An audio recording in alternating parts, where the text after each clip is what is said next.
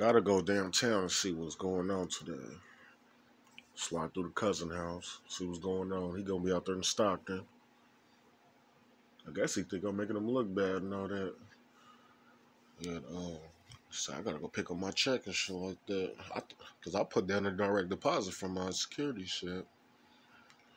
I thought they was already gonna hand it to the payroll manager. No, they said he, I guess he working backwards or something like that.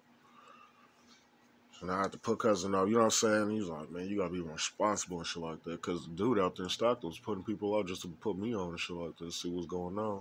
That way we know exactly who the hell they have working on certain days. I'm like, damn, I didn't know he was putting people off. That's my bad. I didn't know.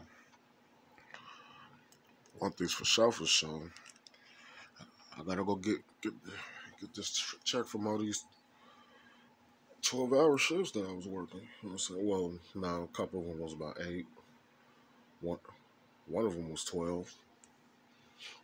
Worked another day. It adds up to twelve. Hell yeah. Just shit, I gotta get that shit, you know what I'm saying? Head to the DMV, see what I can do.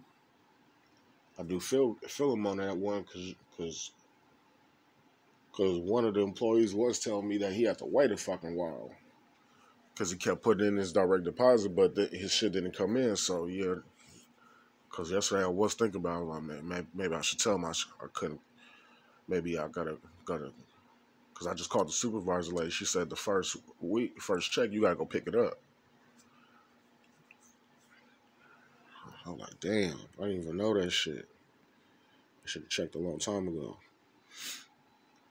Cause now they gotta rearrange some shit out there in Stockton just to bring some people through, just so they could do their thing.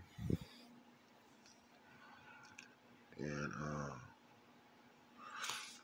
yep, next time. Okay, next week. Call the payroll manager. Dude, do I gotta come pick it up or not? Did you you already got it set up? Though I know not not to how them not to put the pin on me Friday.